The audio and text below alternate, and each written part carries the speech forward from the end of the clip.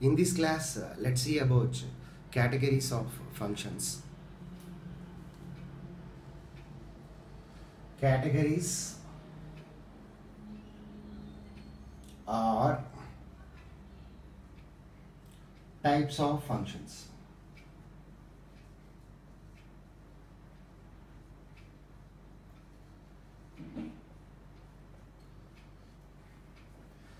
A function can be defined as a collection of statements which performs the given task. Uh, it may be any task. Uh, in order to define a function, we uses mainly four approaches. The first approach is uh, function with arguments and return value. Second approach function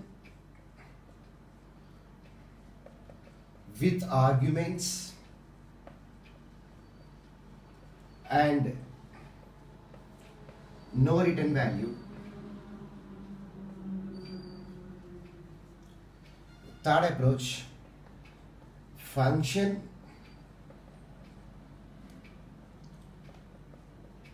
without arguments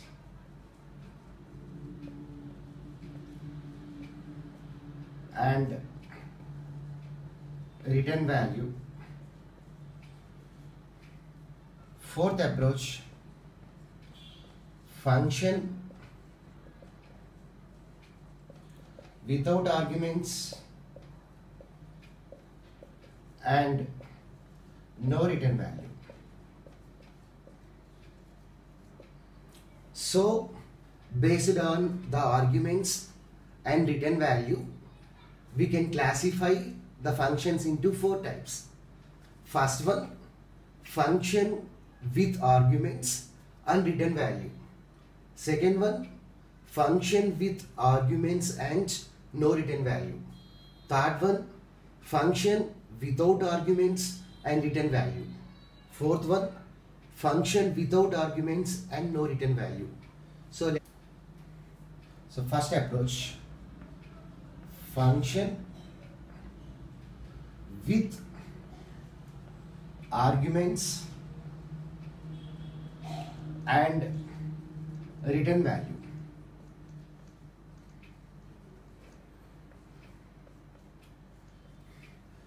In this approach, the function definition contains arguments. So, reading should be done in calling function and calling function sends the corresponding arguments to the function definition. Let's see the first one.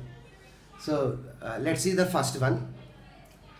Function with arguments and return value. In this approach, function definition contains arguments. So, reading should be done in calling function. That is main function. Main function passes arguments to the function definition. So, function definition receives arguments from main function and after that here the function definition contains a return value. So, after performing the corresponding operation, the function definition returns a value to the calling function. Now let us take a program in order to add two numbers.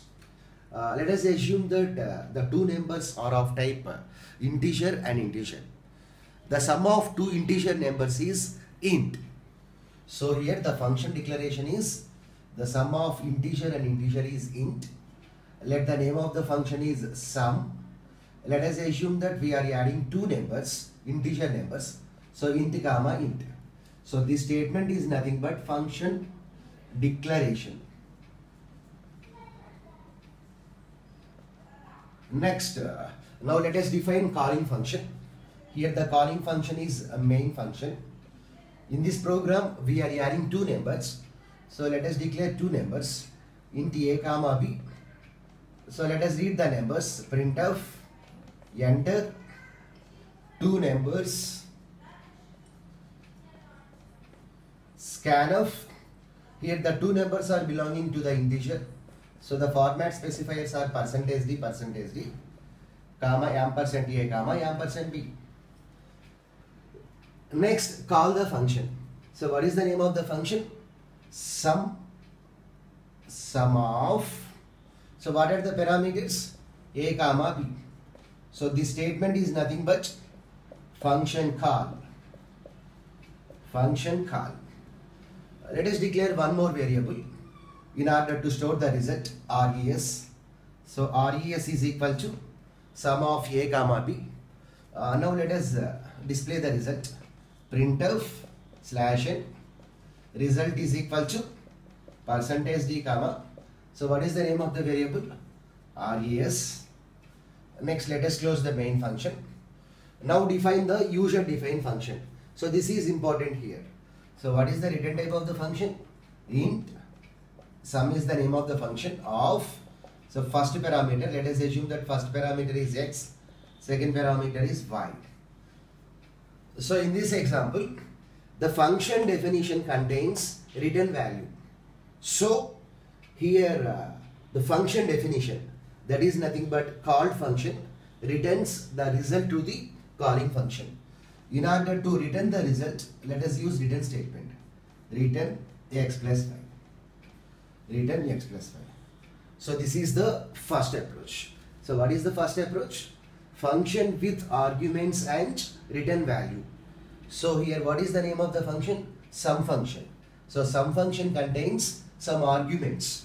So it receives arguments from calling function. That is nothing but main function. So reading should be done in calling function.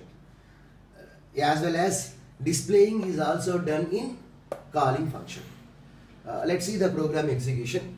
Uh, int a comma b comma res print printf enter two numbers scanf percentage d percentage d comma ampersand a comma ampersand b. Let the first number is 10, second number is 20. So what is a value? 10. B value 20. So res is equal to sum of a comma b. This statement is nothing but function call. So whenever a function is called, then the control will goes to the function definition. So a value 10 will be passed to x, b value 20 will be passed to y. Next, here the function definition contains return value. So return of x plus y. So 10 plus 20 means 30. Return statement returns a value from called function to the calling function. So where we call the function in this statement. So 10 plus 20 means 30. So 30 will be returned and it will be assigned to RES. Next result will be displayed. So this is the first approach. Now let's see the second. Here the second approach is function with arguments and no return value and no return value. In this also we are writing the same program. We are adding two numbers. But here the function contains arguments but the function doesn't contains any return value. So the function doesn't returns any value. If the function doesn't returns any value then the return type is void. So name of the function is void. I'm sorry. Data type of the function is void. So name of the function sum of here also we are adding two numbers. So first parameter int comma second parameter int. Because here the function definition contains arguments. So that's why int comma int are the arguments. Next main function. Now let us uh, read the data. So int a comma b. Next to printf. Printf enter two numbers. Next to scanf percentage d because both the numbers are belonging to the integer. For integer the format specifier is uh, percentage d. Uh, now let's see the next statement. Here the function definition contains arguments. So reading should be done in main function. So reading is done. Next to call the function. So what is the name of the function? Sum of, so what are the parameters? A comma B. Here function definition doesn't contains any return value. So displaying should be done in called function. So what is the what is the return type of the function? Void sum of let the parameters are int x comma int y. Now next we calculate the result. So printf result is equal to percentage d comma perform the sum x plus y.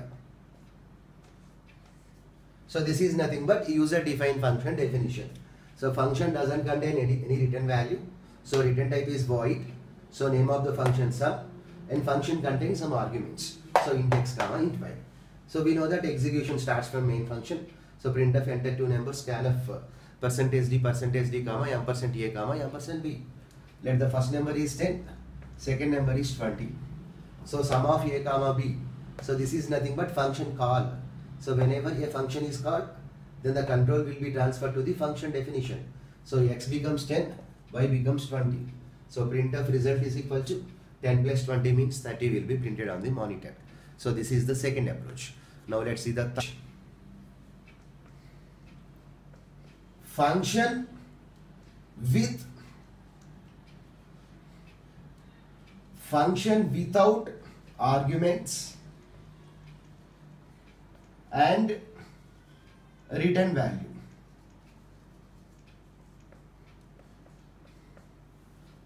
Here the function contains return value. So the return type of the function is int. Let the name of the function is sum of. Here the function definition doesn't contains any arguments. So int sum of left parenthesis, right parenthesis ends with semicolon. We know that execution of a program starts from main function. So the next statement is main function. Now uh, here the function definition doesn't contains any arguments. So reading should be done in called function that is sum function. Whereas the function contains a return value. So displaying should be done in calling function only. So let us declare a variable int res. So printf res is equal to. So what is the name of the function? Sum function. Now display the result. Printf result is equal to percentage d comma res. Next to define the function. So return type of the function int. Sum is the name of the function. Here the function definition doesn't contain any argument. So reading should be done in called function only. So let the parameters are x comma y. So printf enter two numbers. Printf enter two numbers.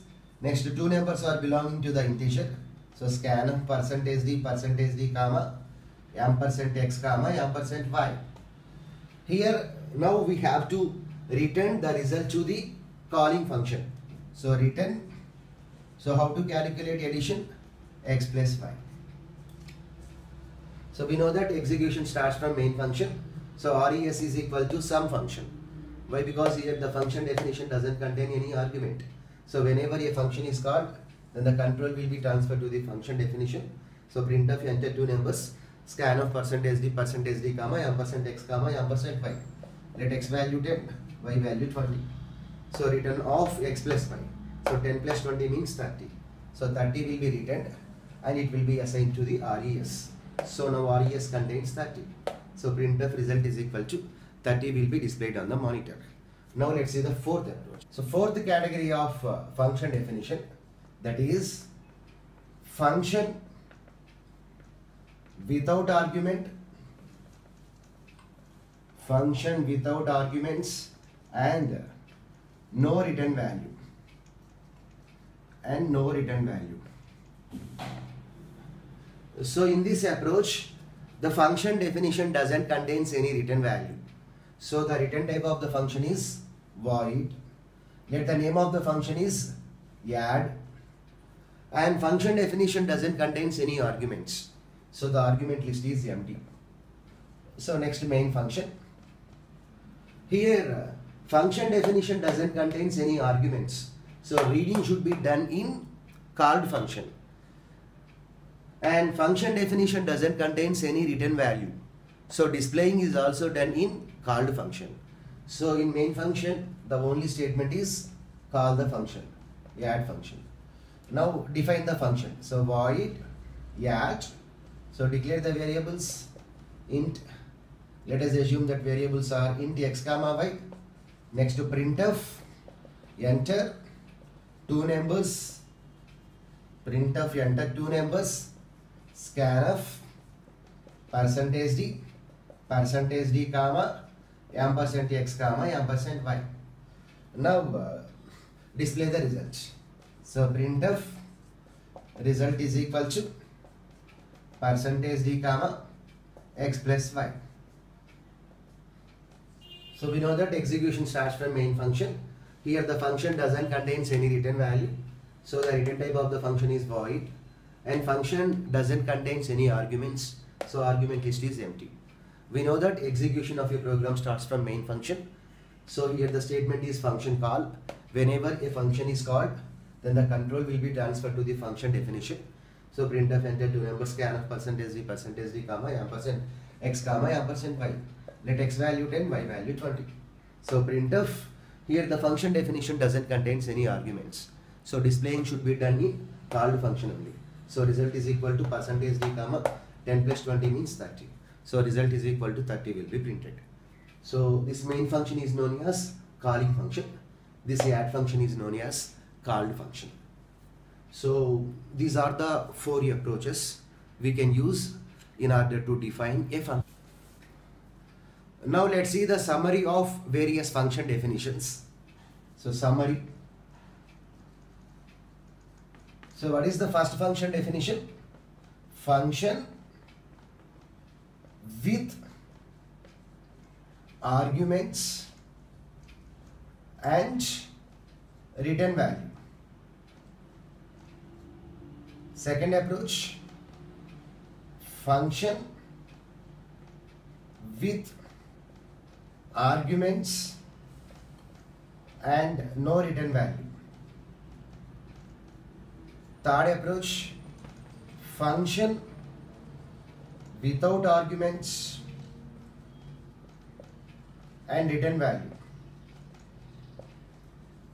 Fourth approach, function without arguments and no return value.